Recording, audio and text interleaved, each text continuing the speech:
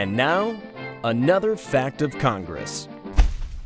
What if they had a rule at your school that was mostly good, but was missing something that would make it even better? Wouldn't you like to change or amend it? Well, amendments are an important part of what happens in Congress. A member proposes a bill that gets sent to a committee for hearings. If the committee wants to, they can vote to add amendments to the bill. This can change the original language in very important ways.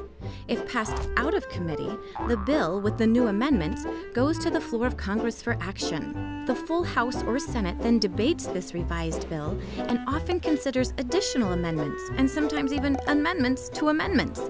It's all just part of improving the original law so it moves along in the best shape possible. This fact of Congress is adjourned.